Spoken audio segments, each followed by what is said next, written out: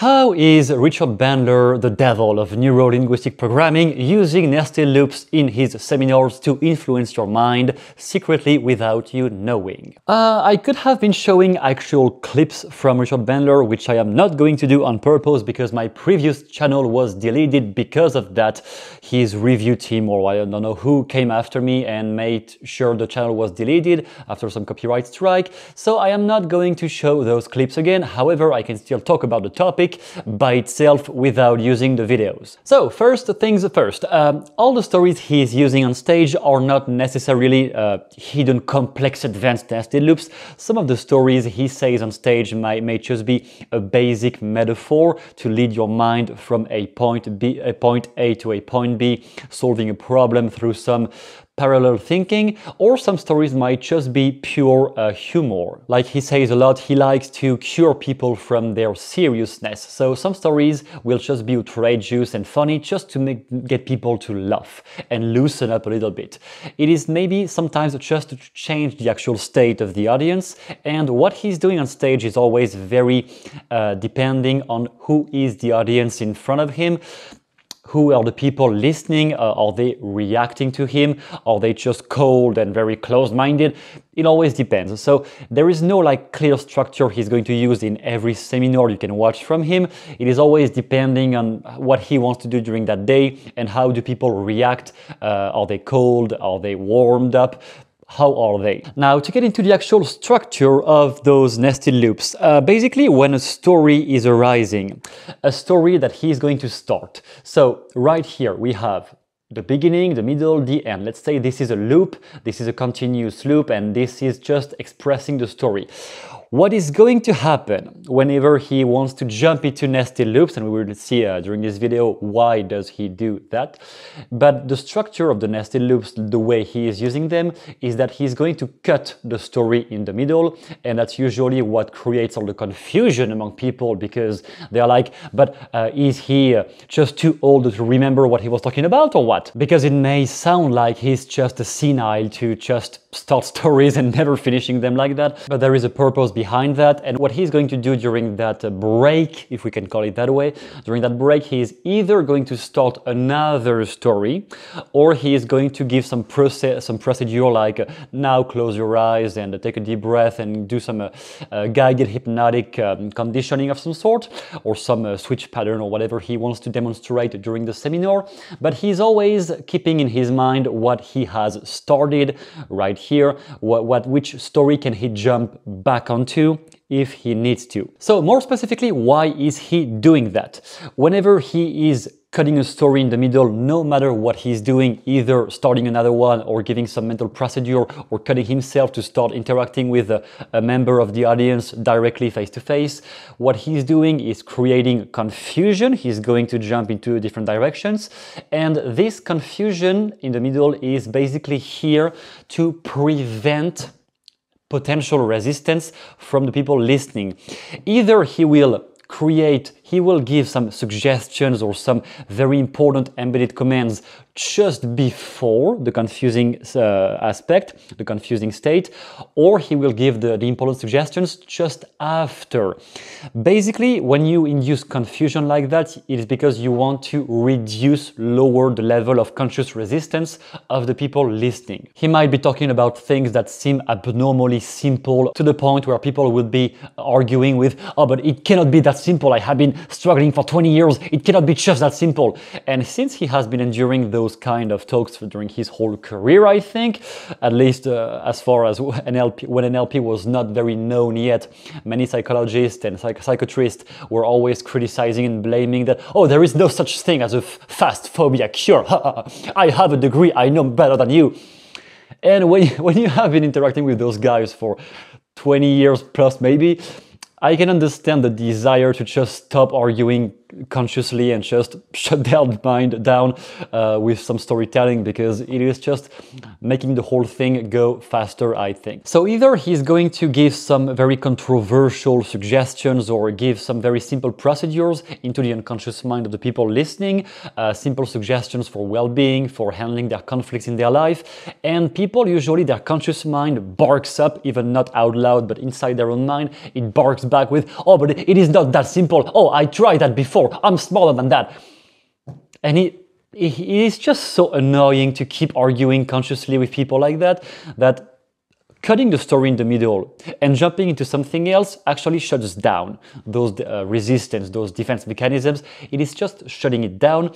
And when he jumps back to the story later, all those arguments, it is just too much information. If we include all the stories he has injected in the middle, uh, right here in the middle, it is just too much work for the conscious mind of people trying to resist to, at the same time, maintain the resistance and at the same time understand all the things he has been talking about during the middle when he has jumped into another story or another mental procedure, another topic or anything like that. Sometimes those stories right here in the middle will also be overly complicated. He might talk about a very advanced psychocybernetics or uh, very uh, advanced quantum physics stuff, which is sometimes not even useful in any way in terms of the conscious understanding and linked to the seminar at hand, but it is just to overwhelm overwhelm the mind, the conscious mind of the people listening so that they will just drop the defenses, all the fears, all the wounds.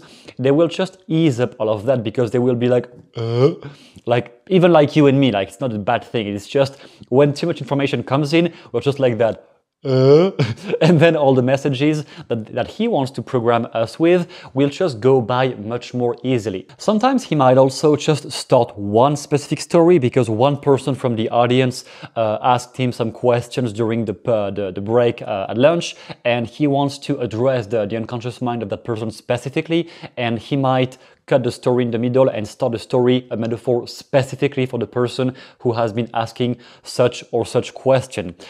Whenever he does something like that, you always have to take care to understand the double level of communication. On the first level, he is talking to you, he's speaking about somebody he met, another seminar he conducted, whatever the topic is of the story.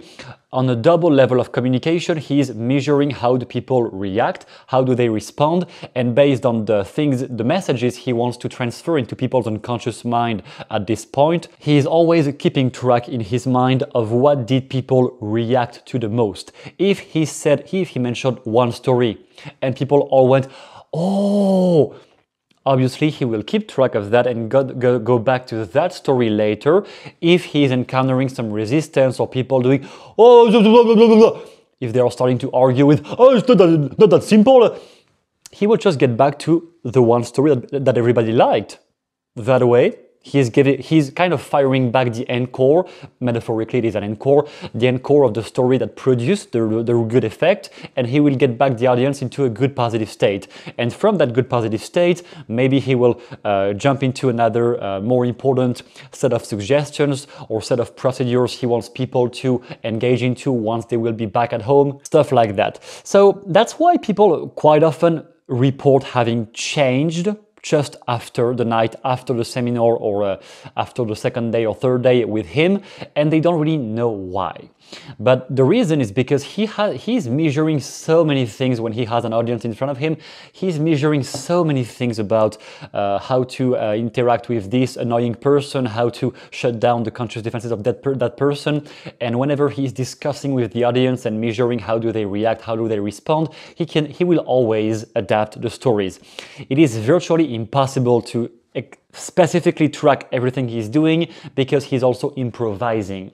During a given seminar, many things he does are definitely things that were not planned when he started the seminar, but he's adapting based on who is in front of him, what is the overall topic of the seminar, adapting the stories. So this kind of double level communication means that every time he needs to introduce some very important message, very common that he gives, he introduces some confusion just after he gave the message, the, the suggestion, or just before, and he will jump to the, the conclusion, which will be all the suggestions about uh, some things like, uh, and if you start visualizing yourself yourself succeeding every night, then you will be happier. This one is overly simple, but you get the point. He might just jump into any kind of very important messages that he wants people's unconscious mind to obey to, and those things will just pass by much more easily if it was if it is coming just after a moment where people were like just lost. In the end, do you actually need to get that far, to get that complex, that advanced? No, you don't need to get that far to get results with your clients if you are a therapist or a coach. One guess I have is that he developed that art. At this point, it is not even a technique, it is more an art to do it at, at that level. I think he developed that partly because of boredom. When you have been doing the same thing over and over again for years and years, it may just get deadly boring, even if it is still impressive to people watching, it may just get boring. And if we get back to, for example, the book Flow, um, one essential component of keeping engagement in your career, keeping your um, some lightning imagination in your career and some enjoyment is to keep leveling up the complexity in what you're doing.